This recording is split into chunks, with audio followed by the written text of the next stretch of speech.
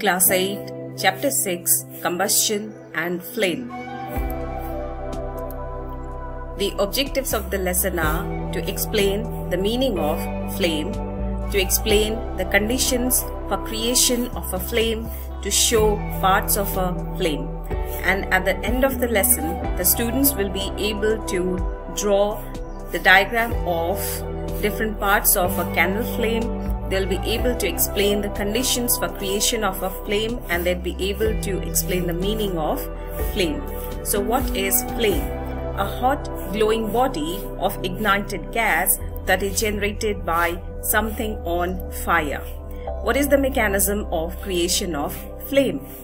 Color and temperature of a flame are dependent on the type of fuel involved in the combustion.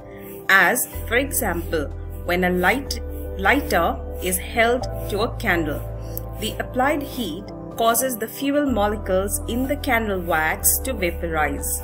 In this state, they can then readily react with oxygen in the air, which gives off enough heat in the subsequent exothermic reaction to vaporize yet more fuel, thus sustaining a consistent flame.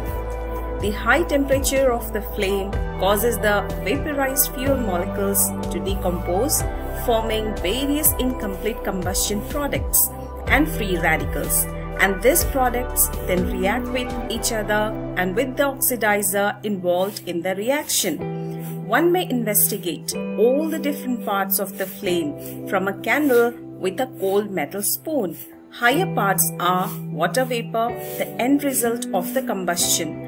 Yellow parts in the middle are soot. Down just next to the candle wick is unburned wax. Now let us look at the zones of a candle flame. The outer zone of complete combustion is in blue color. The middle zone of partial combustion is in yellow color and the innermost zone of unburnt wax vapors is in black color. So the outermost part is the hottest part, middle zone is moderately hot and innermost zone is least hot. So what is the structure of a candle flame? The outermost zone is the hottest among all zones and is blue in color and this is due to complete combustion. It is the non-luminous part of the flame. The middle zone of the candle flame is moderately hot and is yellow in color and partial combustion of fuel takes place. It is the bright part of the flame. The innermost zone of the flame is the least hot and is black in color. This is due to the presence of unburnt wax vapors. Then, what are the conditions for creation of a flame? First of all, the type of fuel. This fuel should vaporize on getting heat and vapors should burn increasing the temperature.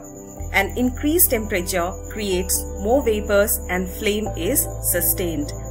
So that is how a flame is created in a candle.